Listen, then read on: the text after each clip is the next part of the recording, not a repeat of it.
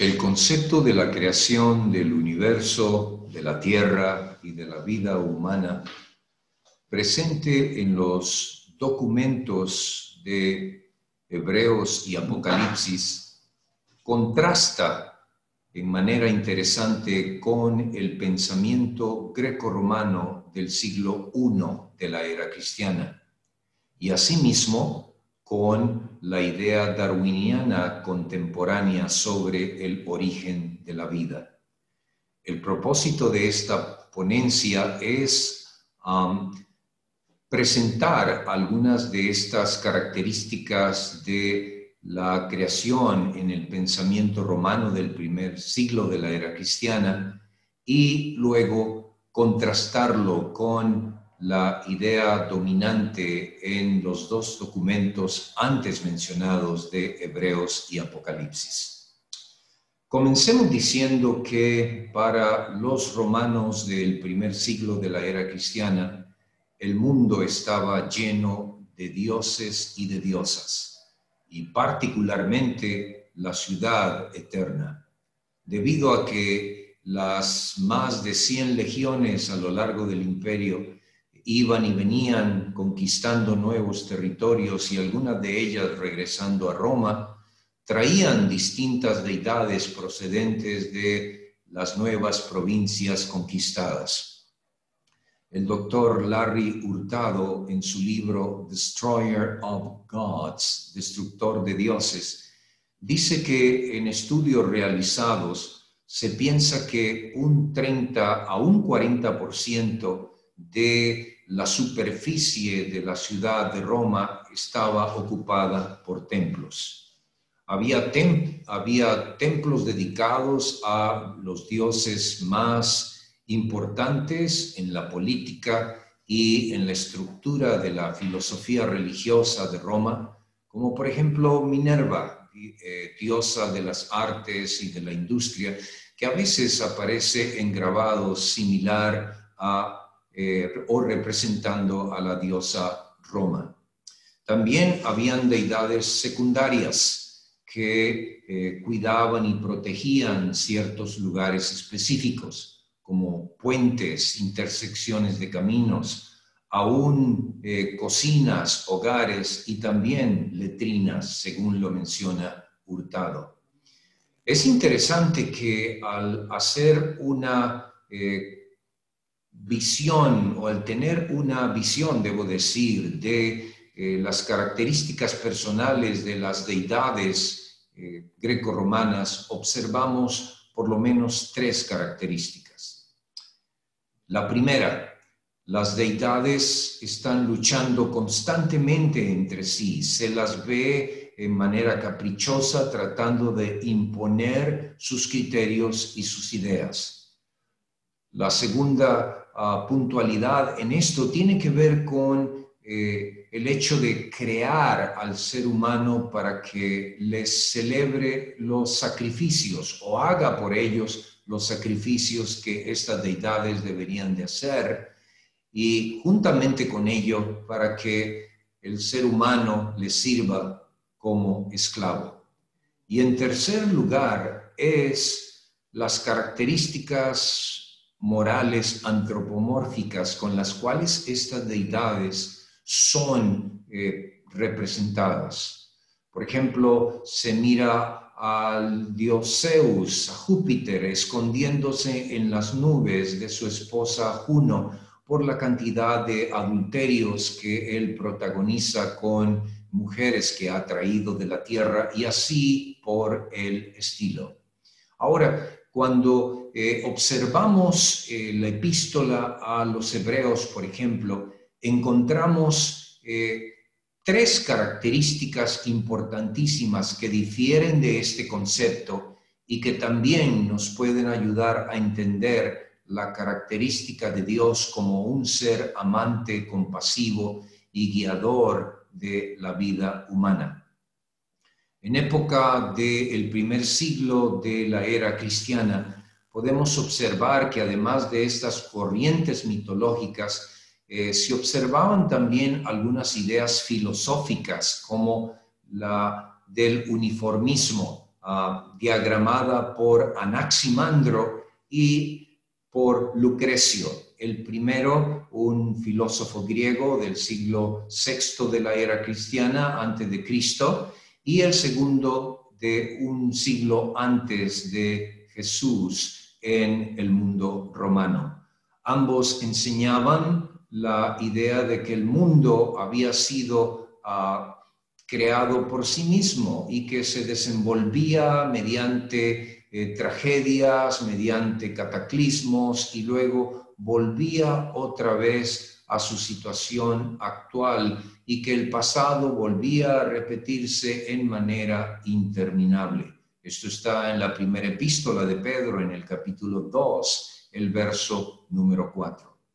Pero la primera epístola, eh, debo decir, eh, la primera declaración de la epístola a los hebreos se encuentra en el capítulo 1, versos del 1 al 3. Allí se menciona que Cristo hizo el universo y que creó los mundos. Esto concuerda muy bien con la declaración del Génesis en el capítulo 1, donde se nos dice que el hombre, al contrario de la idea darwiniana de la selección natural y del crecimiento evolutivo, en el cual ustedes saben, el, el ser eh, más fuerte y más capaz es el que sobrevive y el hecho de que el hombre esté en un ambiente grotesco, hostil y adverso. En el caso del Génesis es lo contrario. Presentamos, en el, observamos, debo decir, en el Génesis eh, a, un, a un Dios creando un mundo en manera progresiva, literal, de 24 horas cada día, eh, en esa forma progresiva hay una preparación que va a permitir que el ser humano eh, llegue a un ambiente perfectamente balanceado en su forma ecológica, en su forma ambiental y demás para la vida. Ah, es importante eh, destacar aquí que en la mención de día fue, mañana fue, o mañana fue, día fue, tarde y mañana, eh, el hebreo de Moisés incluye la idea del calor solar para el día y para la noche incluye la idea de el arrullar de la madre a un bebito eh, cuando llega el atardecer o el anochecer, según algunos hebraístas. Ahora, el, punto interesante que podemos observar es este, esta progresión de 24 horas que va acomodando todo para que el hombre pueda, el hombre y la mujer puedan estar en un ambiente saludable y armónico. En segundo lugar, podemos encontrar también en Hebreos, en el capítulo 4, una continuidad del elemento de la creación y está en el verso 4 de esta obra. Y es allí donde el autor de Hebreos, menciono el autor de Hebreos porque hay una, una ¿qué diríamos? Una discusión sobre la autoría de este eh, importante documento, eh, debido a que, entre otras cosas, por ejemplo, el autor de Hebreos en su epístola, él utiliza en manos o con manos generosas la Septuaginta, la traducción al griego del el texto hebreo. Mientras que los que piensan que pudo haber sido el apóstol Pablo, a veces tienen dificultad de explicar por qué el apóstol Pablo emplea más el texto masorético, el texto hebreo en las cartas paulinas eh, y no en la epístola a los hebreos. Así que pensando en el capítulo 4, el verso 4, encontramos que eh, se dice allí, porque así dice del séptimo día en cierto lugar, y descansó Dios de sus obras. Esta es una alusión directa al libro del Génesis, el capítulo número 2, donde se habla de el sábado. Y allí podemos entonces observar que el séptimo día es mencionado en el capítulo 4 de Hebreos y el verso 4, allí se destaca entonces una relación intrínseca con el elemento de la creación en Génesis 1 y 2. Esta misma relación puede ser observada en el Evangelio según San Lucas, el capítulo 23, el verso 56 y el capítulo 24, el verso 1. Allí en el capítulo 23, el verso 56, Lucas habla del el sexto día de la semana o viernes como día de preparación, eh, ocasión en la cual Jesucristo fue eh, enterrado o sepultado, debo decir, en la tumba de José de Arimatea. Y algo que nos llama la atención es que en el capítulo 23, en ese mismo pasaje, el 56, está implícito el séptimo día de la semana porque se declara que las mujeres que llegaron a ver a Jesús descansaron el día del sábado conforme al mandamiento. Y luego en el capítulo 24, el verso 1 de ese mismo evangelio, se menciona que el primer día de la semana Jesús resucitó. Entonces vemos un orden lógico del ciclo semanal establecido en la creación del Génesis. Viernes, el día de preparación, el sexto día, sábado, el séptimo día de la semana y el domingo, el primer día de la semana. Esto también es constatado por el Observatorio de Greenwich, entre otros, en donde se menciona la validez del ciclo semanal ininterrumpido a través de la historia. El tercer pasaje bíblico que queremos mencionar de la epístola a los hebreos se encuentra allí en el capítulo 11. El capítulo 11 es conocido como el capítulo de la fe y es evidente. Los adventistas del séptimo día eh, creemos en la declaratoria hecha en el libro Las 28 creencias fundamentales de los adventistas del séptimo día, en el capítulo número 6 y en un promedio de unas 10 páginas, los editores y escritores eh, establecen que el concepto de la fe es primordial también para entender en manera eh, más amplia el concepto de la creación, aun cuando hay evidencias científicas en diversas disciplinas que atestiguan la presencia de un Dios creador. Aquí en eh, Hebreos 11, el autor nos menciona que lo que fue hecho fue eh, plasmado, fue realizado eh, de lo que no se veía. Y esta, esta alusión, esta declaración tiene eh, bastante relación con la lingüística de la Septuaginta en el libro del Génesis, en el capítulo 1.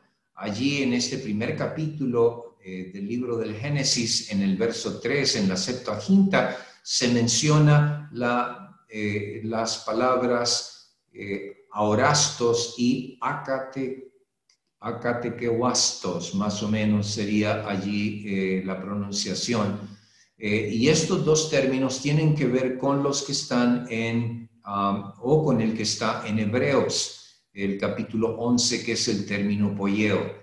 Ambas, ambas um, declarativas, es decir, estas tres palabras en ambas secciones del Génesis y de Hebreos, eh, tanto polleo como acatecuascatos y también el término aurastos pueden significar crear de algo previamente existente o crear de algo invisible, inexistente. Lo que nos llama la atención aquí también es el, el lenguaje que contrasta entre la deidad en el capítulo 1 eh, de Génesis y el verso 26. Es muy diferente al concepto cosmogónico, eh, peyorativo y sumamente antagónico de los dioses. ah, del concepto grecorromano. Aquí observamos, en cambio, en Génesis 1.26, un diálogo cordial y reverencial, armónico entre la deidad a la hora de crear al hombre. Y se lo hace para que viva en un ambiente, eh, en un ambiente saludable, ecológicamente balanceado y espiritualmente eh, puro. Esto es importante porque el origen del mal es posterior a esta situación y de acuerdo a una de las declaraciones de Jesús en San Mateo, el capítulo 13, el origen del mal está mencionado mediante una parábola en donde se siembra buena simiente en el campo, se siembra trigo en el campo y entonces ocurre que eh, le preguntan al dueño del campo, ¿y no sembraste buena simiente en tu campo? Y entonces Jesús responde, eh, en manera didáctica, un enemigo ha hecho esto. O sea, la aparición del mal en, en el universo, según el concepto bíblico, tiene que ver con el drama del gran conflicto entre Cristo y Satanás. Algo que podemos entender también en la epístola a los hebreos es esta relación que hay, ya que en la en la misma epístola se habla de un Dios que está en los cielos, que tiene control del universo y que está realizando una obra intercesora y que tiene una función gubernamental, gubernamental y judicial en algún lugar de lo que llamamos el tercer cielo. Esto también tiene una relación con Génesis al establecer el concepto de una deidad suprema que eh, se inclina y que crea un mundo y que eh, eh, decide entonces establecer sus leyes de gobierno en él. Pasando ahora al libro de El Apocalipsis, podemos encontrar diferentes alusiones a la creación. De hecho, estas alusiones están relacionadas con lo que algunos llaman las ocho visiones encontradas en el libro del Apocalipsis. Estas ocho visiones relacionadas en el libro del Apocalipsis eh, están divididas a lo largo de las dos grandes subdivisiones de esta obra de Juan. La primera gran subdivisión que comprende el lugar santo va desde el capítulo 1 hasta el capítulo 11, los versos 18 y 19. Y la segunda subdivisión de esta gran bisagra que divide la obra en dos partes, la encontramos desde el capítulo 11, versos 18 y 19, hasta el capítulo 22, el verso 21, en la culminación de esta obra escatológica. Algo algo ah, que es necesario citar aquí es que cada una de estas alusiones a la creación está ubicada en escenas diferentes. Algunas de ellas tienen que ver con aspectos judiciales propiamente o gubernamentales del reino de Dios. Y la primera de ellas la encontramos en Apocalipsis, el capítulo número 4.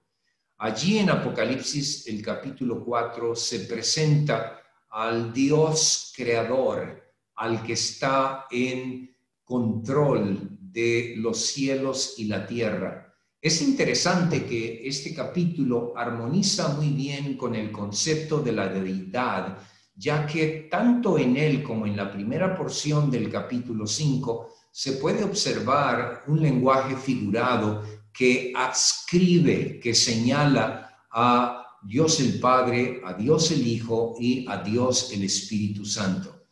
Pero aquí en el capítulo 4 del libro del Apocalipsis encontramos entonces a Dios el Padre sentado en su trono.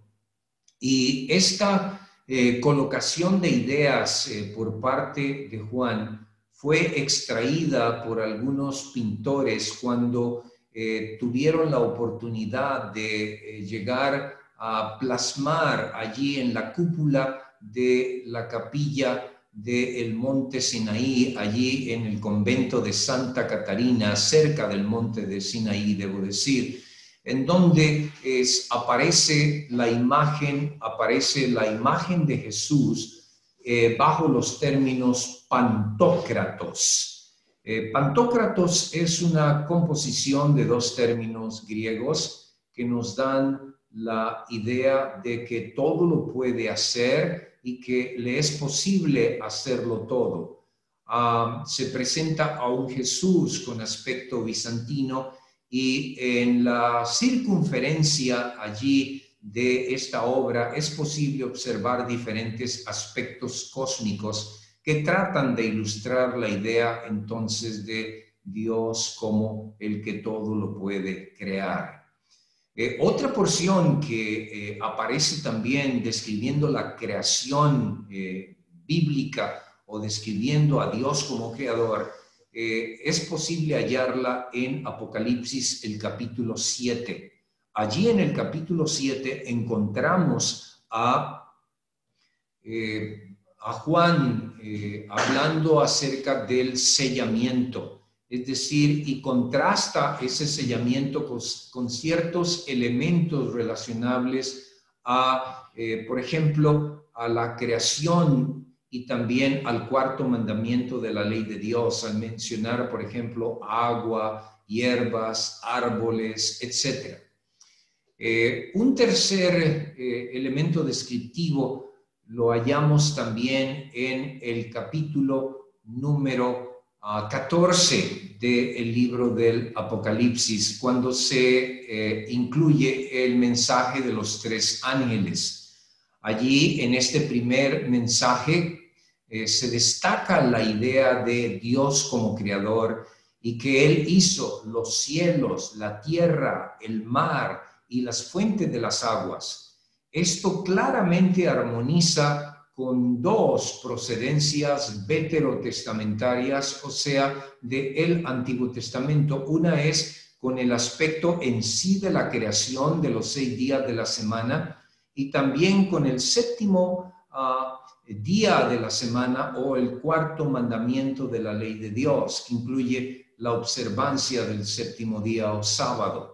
Y es allí en este cuarto mandamiento donde se incluyen elementos de eh, vocabulario figurado o codificado o creativo en el Apocalipsis al mencionar eh, tierra, aire, mar, las fuentes de las aguas, etc. Ahora, un, elemento importantísimo también, eh, aunque no está propiamente relacionado a Apocalipsis 11, 18, ya que en Apocalipsis 11 y 18, cuando se menciona que Dios vendrá a destruir a los que destruyen la tierra, se refiere propiamente a una especie de simbolismo utilizado en los libros de los profetas mayores, en Ezequiel y en Jeremías, donde se habla de que la destrucción de la tierra está relacionada al aumento de las bestias salvajes. Y todo esto tiene connotaciones uh, judiciales que hablan sobre la rebelión de Israel en contra del el decálogo, de los principios reflejados en los diez mandamientos, cosas que podemos observar en nuestro planeta rebelde hoy que casi llega a ser asunto de todos los días. Sin embargo, eh, el apóstol eh, Pablo en la epístola a los romanos, él también menciona algo interesante sobre la creación en un sentido más que todo ecológico. Es decir, ustedes saben que eh, los apóstoles escribieron a una audiencia original, pero también le escribieron por el don de profecía a una audiencia histórica que se traslada a través de los siglos en la historia del gran conflicto entre el bien y el mal. Entonces, aquí Pablo dice que la creación, dice en los primeros capítulos de Romanos, eh, la creación entera gime por causa de su condición. ¿Estaría Pablo quizá refiriéndose a la actitud devoradora y deforestadora del imperio romano? No lo sabemos, pero si podemos destacar aquí algunas situaciones interesantes, podemos darnos cuenta de que hay cierta relación que podemos citar.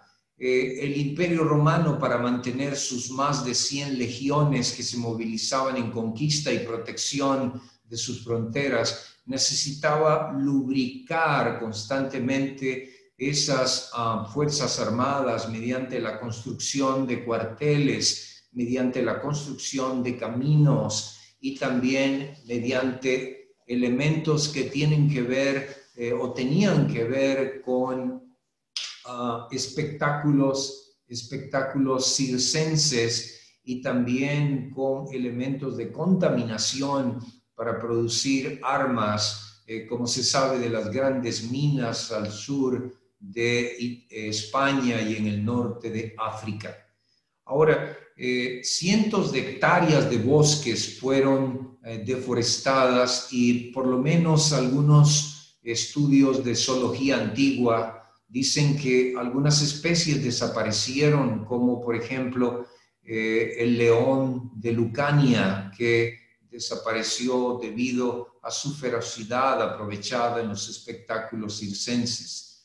Eh, también podemos eh, eh, mirar aquí que la Universidad de Utrecht hizo estudios de la contaminación de el Imperio Romano elevado a la atmósfera mediante estudios también realizados en la capa polar de allí en el Ártico y descubrió una cantidad eh, increíble de contaminación de CO2 y otras cosas más relacionadas a esta época superada solamente por la era industrial.